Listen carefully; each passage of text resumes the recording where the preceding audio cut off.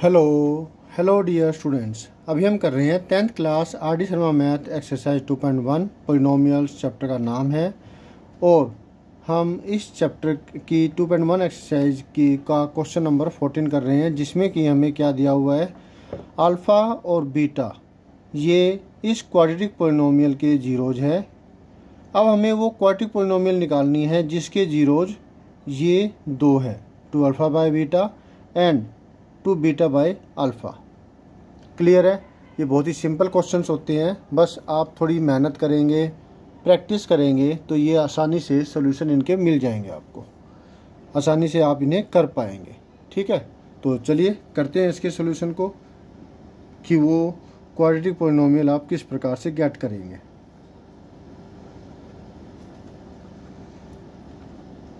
Given quadratic polynomial quadratic polynomial जो आपको मिला हुआ है वो है एक्स स्क्र माइनस वन अब क्या करेंगे?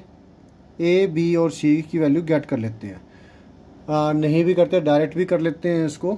तो अब अगर लिखना चाहे तो लिख सकते हैं। Comparing one with a x square plus b x plus c तो इसको हम जनरल फॉर्म के हिसाब से करना चाहें तो एक्स वाई टर्म तो इसमें है नहीं। तो x square plus zero x minus one इसको हम ऐसा भी लिख सकते हैं। तो हमें ए की वैल्यू मिलती है एक्स स्क्वेयर का कोविशेंट जो कि यहाँ पे नहीं है तो वन है। बी एक्स का कोविशेंट जो कि ज़ीरो है। सी यानी कि जो टर्म ना हो, उसका कोविशेंट ज़ीरो माना जाएगा। ठीक है तो एक्स वाली टर्म नहीं थी तो उसका कोविशेंट ज़ीरो हो गया। सी की वैल्यू माइनस वन ठीक है? अब आप में सम ऑफ़ जीरोज यानी कि अल्फ़ा प्लस बीटा निकालना है, जो कोफिशेंट्स के हिसाब से माइनस बी बाई ए होता है। और बी की वैल्यू तो ज़ीरो है तो minus zero by one zero ही हुआ। Product of zeros alpha multiply beta alpha की वैल्यू, अल्फ़ा बीटा की वैल्यू कोफिशेंट के हिसाब से सी बाई और सी की वैल्यू है माइनस वन, बाई में वन, यानी कि माइनस वन हो गई। ठीक है, इसको सॉल्व करेंगे तो माइनस वन मिलेगा। अब हमें सम ऑफ़ जीरोज यानी कि ये दोनों का जोड़ और इन दोनों का प्रोडक्ट हमें निकालना होगा, क्योंकि जब किसी भी क्वाड्रिक पोलिनोमियल का सम ऑफ़ जीरोज और प्रोडक्ट ऑफ़ जीरोज गिवन हो तो हम क्वार्टिक पोलिनोमियल आसानी से गेट कर सकते हैं। तो sum of zeros of required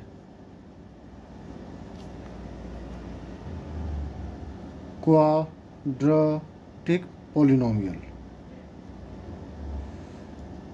is equal to क्या हो जाएगा? ये जीरोज है टू अल्फ़ा बीटा प्लस में टू बीटा बाई अल्फ़ा। ये लिख दिया लिख दिया इनका, जोड़ कर दिया। अब एल्शियम इन दोनों का प्रोडक्ट होगा। तो ये बना, अल्फ़ा बीटा बनाने के लिए इसको अल्फ़ा से मल्टीप्लाई करेंगे, इसको भी अल्फ़ा से और इसको बीटा से मल्टीप्लाई करेंगे और इसको भी बीटा से करेंगे। ठीक है? हमें मिला टू अल्फ़ा स्क्वेयर। मैं सीधा डायरेक्ट कॉमन ले रहा हूँ, ताकि स्पेस की कमी है, इसी करके। और इसको हम क्या, इसको सॉल्व करेंगे तो क्या मिलेगा? Two alpha plus beta square minus two alpha beta formula ना इसके लिए alpha square plus beta square के लिए ये। बाय में alpha beta two alpha plus beta हमें ज़ीरो मिला हुआ है ज़ीरो का स्क्वायर माइनस टू मल्टीप्लाई में माइनस वन बाय में alpha beta minus one clear हुआ? ध्यान से इंटीजर कॉन्सेप्ट को फॉलो करेंगे आप। ध्यान से करना पड़ेगा सम।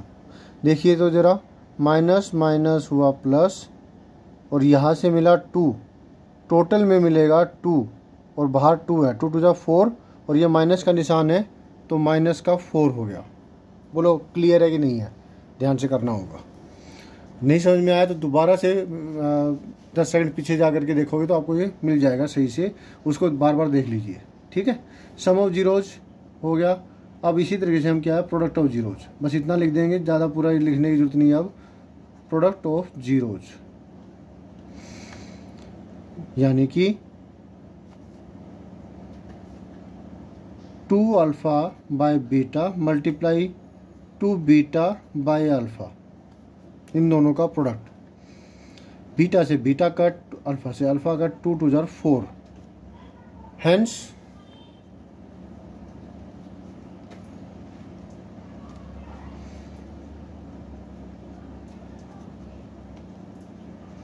required quadratic polynomial is formula उसका है एक्स स्क्वेयर के भी साथ में लगा देते हैं माइनस एस एक्स प्लस में पी ये फार्मूला होता है। वैल्यू पुट करेंगे। एक्स स्क्वेयर एस की वैल्यू हमें मिली माइनस फोर तो एक माइनस ये, एक माइनस ये दोनों मिलके क्या हो जाएगा? प्लस हो जाएगा। प्लस का फोर एक्स। और पी की वैल्यू फोर है। आंसर। ठीक है, सोल्यूशन मिल गया आपको। और सो अच्छे से समझ में आ गया। कुछ भी अगर समझ में नहीं आया तो दोबारा से वीडियो को देखिए। क्वेश्चन को तोड़ करके कीजिए। पहले इतना कर लीजिए, फिर इतना कर लीजिए। अगर सारा समझ सकते हैं तो पूरा एक साथ कीजिए। कुछ समझ में ना आया तो वीडियो दोबारा कंटिन्यू कर लीजिए। ठीक है तो मिलते हैं नेक्स्ट वीडियो में। Always have a great time bye